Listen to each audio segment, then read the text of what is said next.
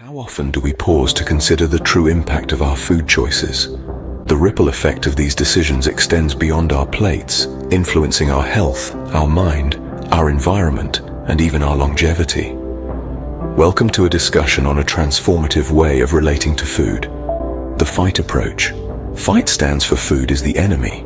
It introduces the concept not as an attack on food itself, but does encourage mindful eating and addresses the hidden costs of food consumption. It's a compass for those seeking to redefine their relationship with food and to understand its true cost. But what does this mean, and how can it be applied? Let's delve in. Focus. The first element is about honing in on the core reasons to control food intake. This isn't about restriction, but about clarity. It's about understanding the why behind the choices. Could it be cognitive health, increased life expectancy, spiritual health, or perhaps gaining a competitive edge. The motivations are numerous, but they all start with a focused intention. Next comes intention, the conscious decision to make thoughtful choices about food. It's not about dieting or counting calories. It's about choosing foods that nourish and satisfy. It's about considering the impact of those choices on personal health and on the wider world. After that, we have time. Time is a valuable resource, and it's important to consider it when making food choices. How much time does it take to prepare a meal?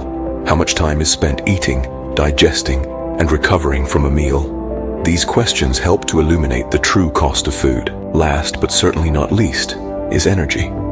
Energy refers to the physical and mental effort involved in food consumption. It also refers to the energy derived from food. It encourages a shift in perception, viewing food as fuel rather than just a source of pleasure or comfort. The FITE approach offers practical tips for redefining hunger, considering the true cost of food, and even incorporating short-term fasting into the routine.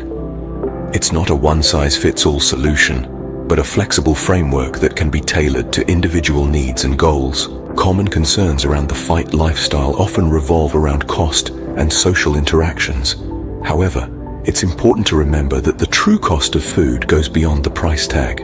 It includes the cost to our health, our time, and our energy. As for social interactions, they don't have to revolve around food. There are countless ways to connect with others that don't involve overconsumption. The power of the FITE lifestyle lies in its emphasis on individual determination. It's about making conscious choices, taking responsibility, and harnessing the power of food to enhance life rather than diminish it. It's about promoting a holistic approach to food consumption with a focus on long-term health and well-being. So, as we navigate the complex world of food, the FITE approach serves as a guide, a beacon illuminating a path to a healthier, more mindful relationship with what we eat. It's not just about food, it's about life, in all its delicious complexity.